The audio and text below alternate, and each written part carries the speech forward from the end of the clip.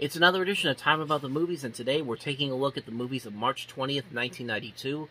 We've got five movies to look at today, so let's go ahead and jump right on into it. And we'll start off with the first movie that we have here, probably the best of the newest releases that came out this week, and that is, of course, Michael Douglas and Sharon Stone in the erotic thriller Paul Verhoeven's Basic Instinct.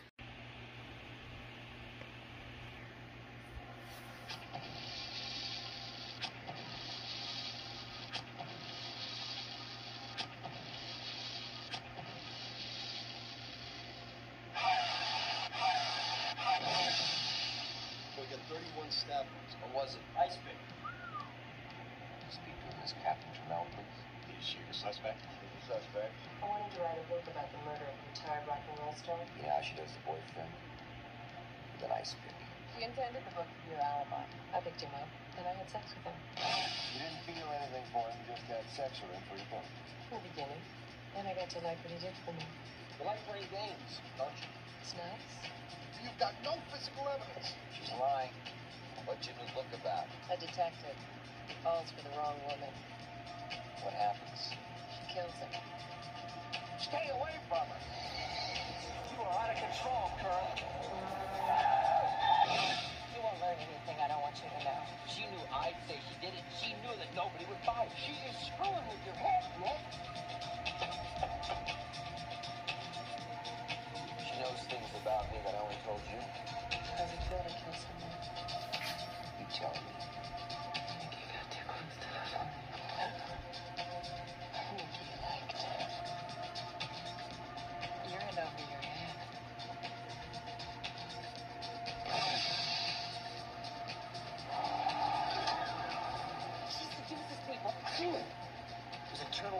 wasn't it? She manipulates people.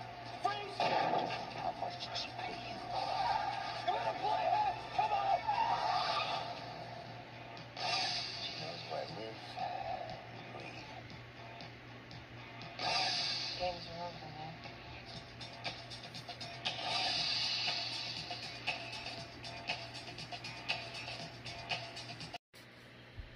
Now, we've kind of talked about erotic thrillers in the past couple of years. Uh, most of them have not been very good, and I've always brought back this movie in particular because really, it is probably the best erotic thriller that we've ever is that's ever come out. Honestly, one of the best ones at, least. But um, yeah, in terms of what the movie was trying to do, it was trying to tell a story, but also be it's also tantalized a little a lot of sex in there. This is one of the prime examples of a movie that really really stood the, oh, has stood the test of time, kind of, because it's a movie that's held, held up over 30 years later. It's a movie that isn't afraid to be isn't afraid to go as far as it can go, and it isn't afraid to tell a good story here. There's a good story to tell here. There's a good mystery around this around this because honestly, you can look at this and the trailers kind of make you figure figure it's going to be Sharon Stone who's the killer, and really that's not quite the case. The twist in here is actually kind of kind of good. I actually like what they kind of did with that. And the movie also benefits from the performances by Sharon Stone and Michael Douglas. Both of them have this great chemistry. They work off each other so well. And Sharon Stone really does show that she does have a lot of good acting chops here. She really plays this Temptress role very well. Uh, the sex scenes are legitimately well done. They're they're shot very well. They do the, they do the job that they need to do of course, the most famous scene in the movie is a little bit gratuitous, but you know what? In terms of what the character is doing in that scene, it works for her. It works well enough. It works to the story, and it does make you get more invested into what's going on with the story and these characters. And like I said, the mystery here is really good. There's a good mystery involved here. Not everything about it works. Some of it's very dated. Like, it feels very some of the character development isn't as strong, but the performances are what make it stand out more, and also the the great score by Jerry Goldsmith, uh, the editing in here, the cinematography by Jan de Bont. Um, a lot of elements here do really do work. It's a movie that's very much giving you what you asked for and then some. It does. Is the mystery aspect is very good. You get so invested in what's going on, and you do wonder how it's going to end. And it does a very good job of handling all those fronts. It's a movie that's really good.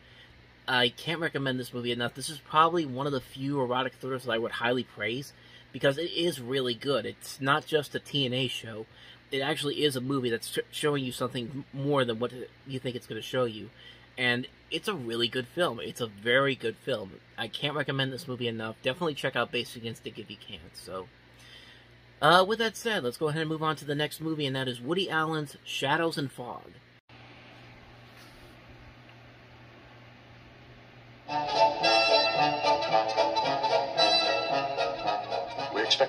Strike again tonight. The killer?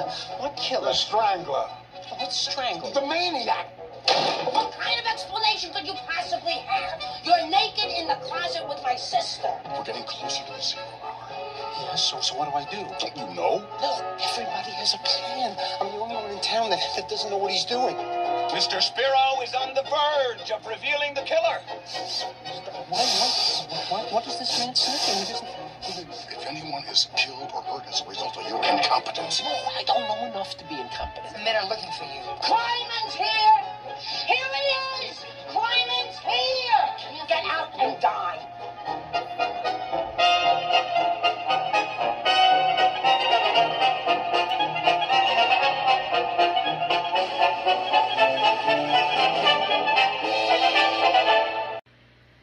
So here's kind of another example of a movie that's trying to be two different things, but really it can't it can't do it in this case. And this movie, it's it, you can tell the movie's trying to go for some kind of German expressionism parody, but it's also trying to mix it with a screenplay by Woody Allen, and his typical st- writing style doesn't really fit with the movie here, and it just it definitely shows on screen. There's not really a whole lot there in terms of like weight or entertainment value here compared to Allen's other works it just feels very forgettable and really just not enjoyable in the slightest whatsoever. And this is a, this is one of those movies that has a great cast involved. There's a huge cast involved in this one.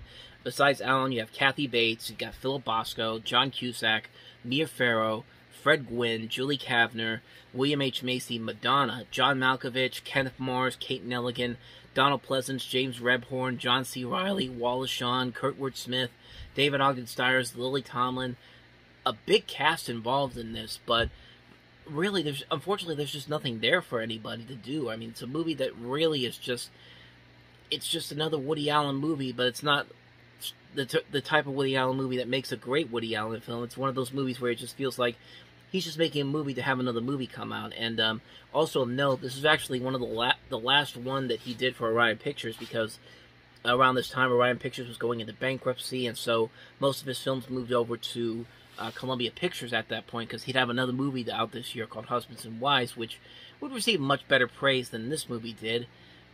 And uh, we'll get to that one when we get to that one. But as far as this movie goes, yeah, it's just not a very good movie. It's a very underwhelming film.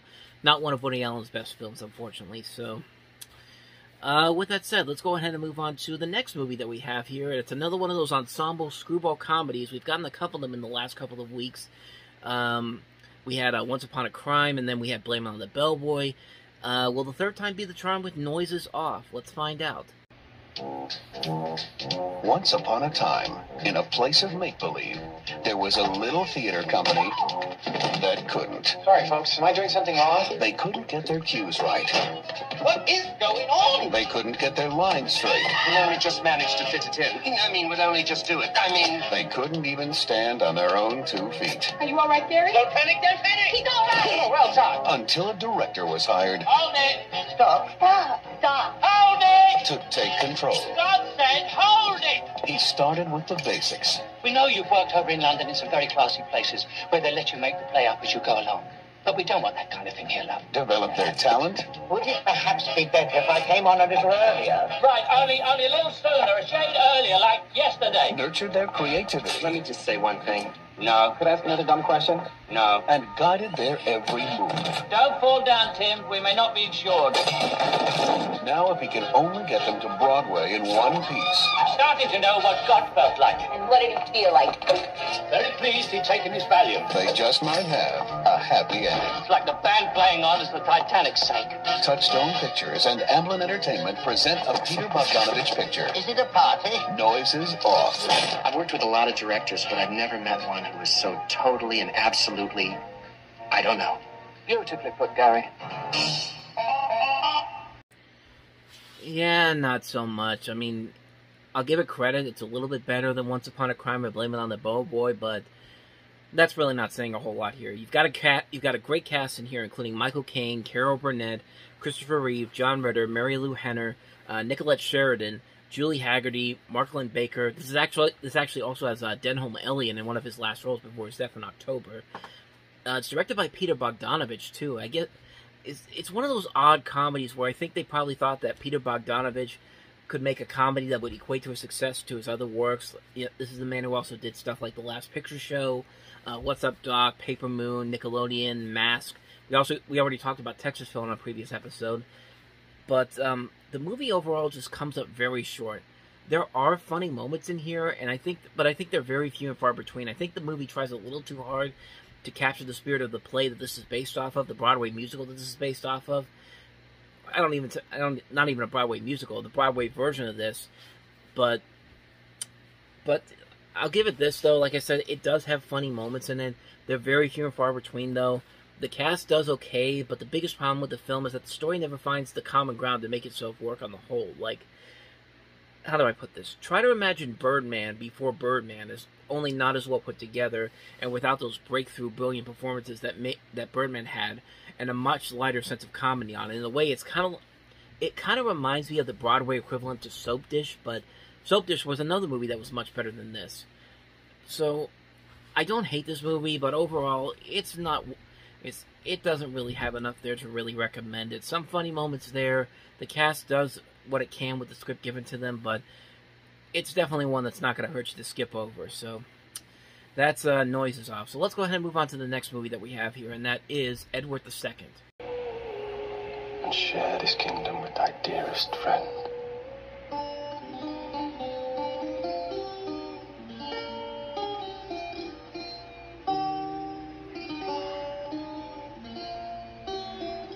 In 1593, Christopher Marlowe wrote one of the jewels of the Elizabethan theater. In 1992, the acclaimed director Derek Jarman brings to the screen an Edward II like you've never seen before.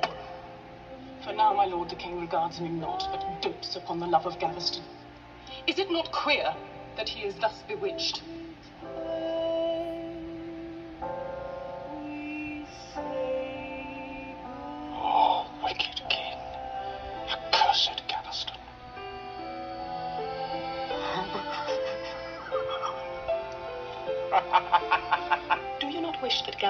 Dead? Edward II. The extraordinary new movie by the director of The Tempest and Caravaggio.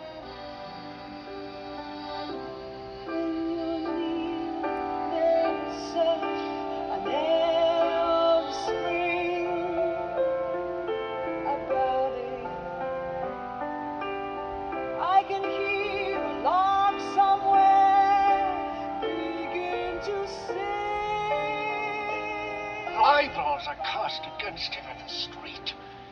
Ballads and rhymes made of his overthrow.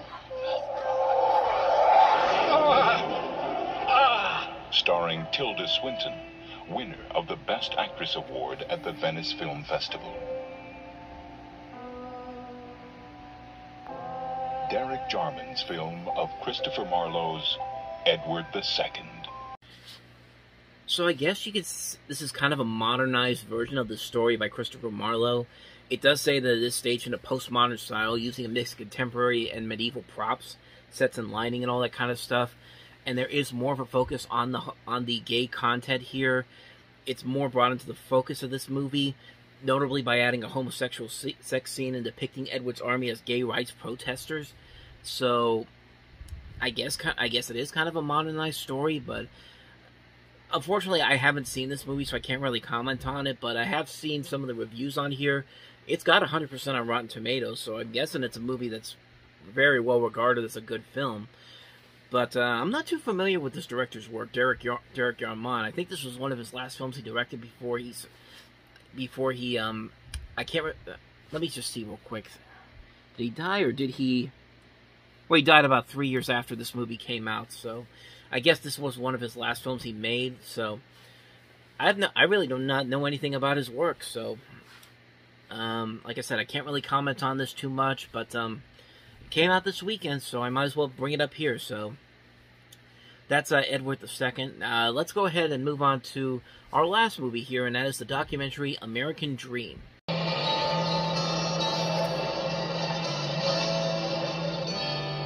got to give up 23% wages 30% cut in benefits when the company's making $30 million. My husband and I am proud to be a wife of a hog cutter. I'm proud of the products, but I don't like the way they're treating my family or anyone else who's ever worked for that plant. The Hormel company put us into a corner, and we were going to come out after. We're going to be on strike uh, as of midnight on Friday. See people working together, people willing to share, people opening up. I think we're pulling together, you know, a big family. What the hell is the matter with you? It's a union meeting. What plan of action is everybody here looking for? What we're doing makes sense, and we believe in it. And belief is something that will carry you a long ways. It's a doomed strategy, and it was doomed from the beginning. We gotta shut down every plant that Hormel owns Monday morning. Minnesota Governor Rudy Perpich today called out the National Guard trying to help maintain order. This is your community, not two or three of them greedy executives. This is a union picket line. We ask that you do not cross it. It's a question of morality because I was brought up that you do not cross the picket line no matter what. You union people, we ain't crossing no picket line.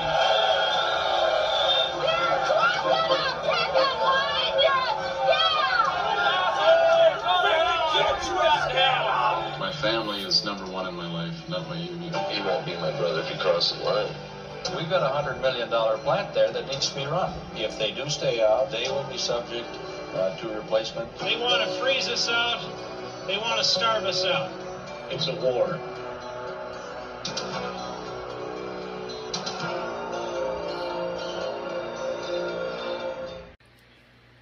So this is a documentary about the unsuccessful Hormel strike of 1985 and 1986, where I guess this union went on strike, and in in the end, it failed miserably to get the, to get what exactly what they wanted, or at least that's what this trailer is implying, or and that's what it is on the Wikipedia page. This is another one of those movies I haven't seen before, but um, it does very much intrigue me. I do like this idea that we get to see how these people try to try to strike to get whatever they want in this union and how does the, how does the company handle it? And you see the two sides go, going at each other, and it is a very it is a very unique looking trailer from what I see here for a movie that does look very interesting, and and um, yeah, it does look like an interesting documentary.